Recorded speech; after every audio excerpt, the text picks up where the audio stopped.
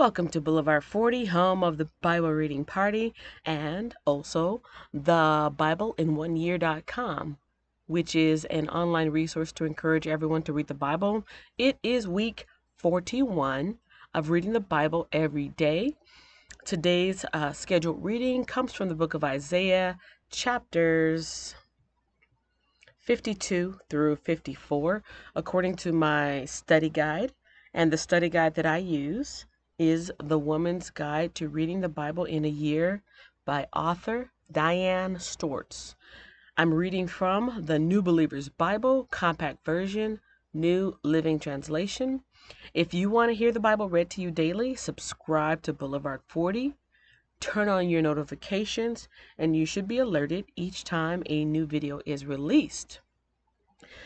This week, I will be reading and completing the book of Isaiah, and then I will be finishing up with uh, the book of Peter in the New Testament.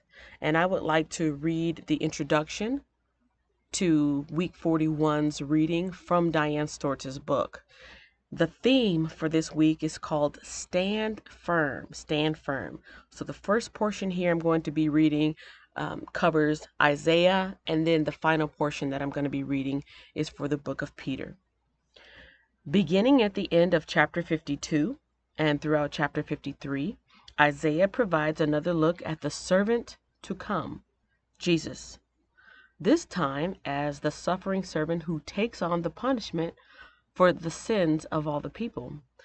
Chapter 61 contains the verses that Jesus read aloud in the synagogue of Nazareth when he began his three year public ministry.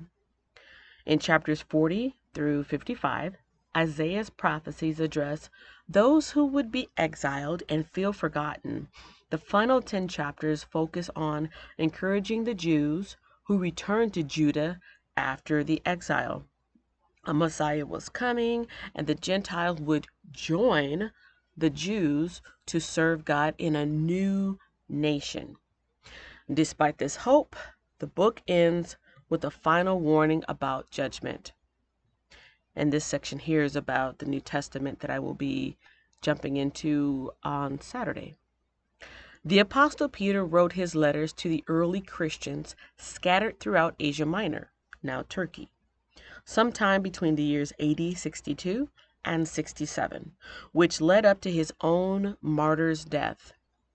These believers faced persecution within their communities, and Peter wrote to help them understand, accept, and stand firm through their suffering based on Jesus' own example, and to warn against warn them against false teachings.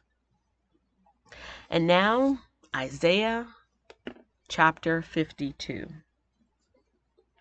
Deliverance for Jerusalem. Wake up, Wake up, O Zion, clothe yourself with strength, put on your beautiful clothes, O holy city of Jerusalem, for unclean and godless people will enter your gates no longer. Rise from the dust, O Jerusalem, sit in a place of honor.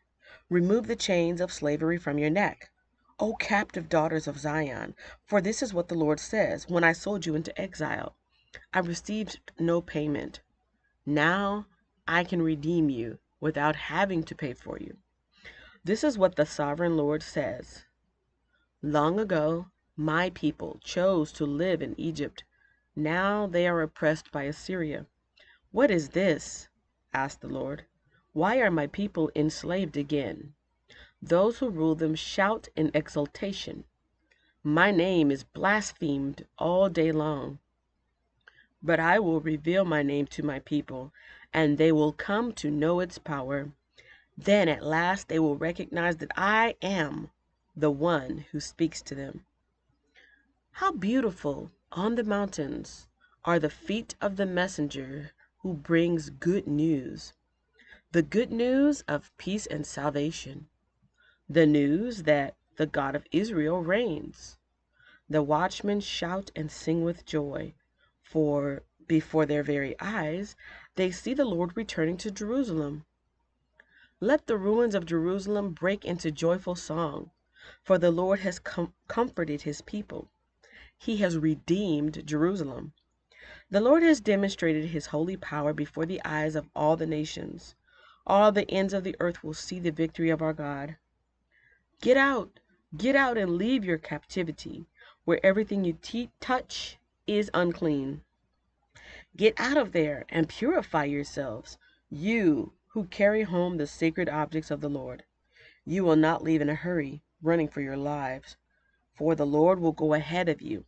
Yes, the God of Israel will protect you from behind.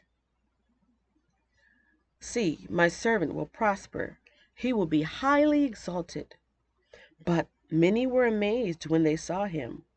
His face was so disfigured, he seemed hardly human, and from his appearance one would scarcely know he was a man. And he will startle many nations. Kings will stand speechless in his presence, for they will see what they had not been told. They will understand what they had not heard about. Chapter 53 Who has believed our message? To whom has the Lord revealed his powerful arm? My servant grew up in the Lord's presence like a tender green shoot, like a root in dry ground. There was nothing beautiful or majestic about his appearance, nothing to attract us to him.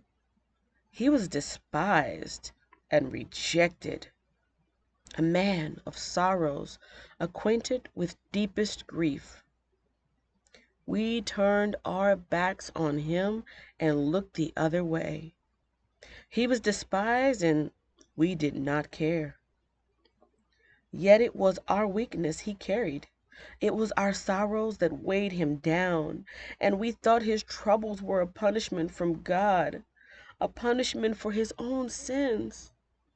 But he was pierced for our rebellion, crushed for our sins. He was beaten so we could be whole. He was whipped so we could be healed. All of us, like sheep, have strayed away. We have left God's path to follow our own. Yet the Lord laid on him the sins of us all. He was oppressed and treated harshly, yet he never said a word. He was led like a lamb to the slaughter. And as sheep is silent before the shears, he did not open his mouth. Unjustly condemned, he was led away. No one cared that he died without descendants, that his life was cut short in midstream. But he was struck down for the rebellion of my people. He had done no wrong, and had never deceived anyone. But he was buried like a criminal. He was put in a rich man's grave. But it was the Lord's good plan to crush him and cause him grief. Yet, when his life is made an offering for sin, he will have many descendants. He will enjoy a long life, and the Lord's good plan will prosper in his hands. When he sees all that is accomplished by his anguish, he will be satisfied. And because of his experience, my righteous servant will make it possible for many to be counted righteous, for he will bear all their sins. I will give him the honors of a victorious soldier because he exposed himself to death. He was counted among the rebels. He bore the sins of many, and interceded for rebels. Chapter 54 Future Glory for Jerusalem. Sing, O childless woman, you who have never given birth. Break into loud and joyful song, O Jerusalem, you who have never been in labor. For the desolate woman now has more children than the woman who lives with her husband, says the Lord. Enlarge your house, build an addition, spread out your home, and spare no expense. For you will soon be bursting at the seams. Your descendants will occupy other nations and resettle the ruined cities. Fear not, you will no longer live in shame. Don't be afraid, there is no more disgrace for you.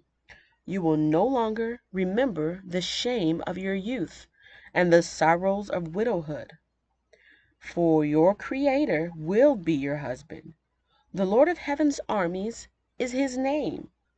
He is your Redeemer, the Holy One of Israel, the God of all the earth. For the Lord has called you back from your grief, as though you were a young wife, abandoned by her husband, says your God. For a brief moment I abandon you, but with great compassion I will take you back. In a burst of anger I turned my face away for a little while. But with everlasting love I will have compassion on you, says the Lord, your Redeemer. Just as I swore in the time of Noah that I would never again let a flood cover the earth, so now I swear that I will never again be angry and punish you. For the mountains may move and the hills disappear, but even then my faithful love for you will remain. My covenant of blessing will never be broken, says the Lord, who has mercy on you. O storm battered city, troubled and desolate, I will rebuild you with precious jewels and make your foundation from lapis lazuli. I will make your towers of sparkling rubies, your gates of shining gems, and your walls of precious stones. I will teach all your children, and they will enjoy great peace. You will be secure under a government that is just and fair. Your enemies will stay far away you will live in peace, and terror will not come near. If any nation comes to fight you, it is not because I sent them. Whoever attacks you will go down in defeat. I have created the blacksmith who fans the coals beneath the forge and makes weapons of destruction. And I have created the armies that destroy. But in that coming day, no weapon turned against you will succeed. You will silence every voice raised up to accuse you. These benefits are enjoyed by the servants of the Lord. Their vindication will come from me. I, the Lord, have spoken. This concludes today's reading. If you enjoyed it, please leave it a thumbs up, which will help it to become discoverable and found by others. I invite you to visit the website www.thebibleinOneyear.com. That's the number one. For helpful resources to encourage everyone to read the Bible. You can find the links to that website and the Bible that I'm reading from, the Bible study guide that I'm using, and other cool Bible related channels in the description below.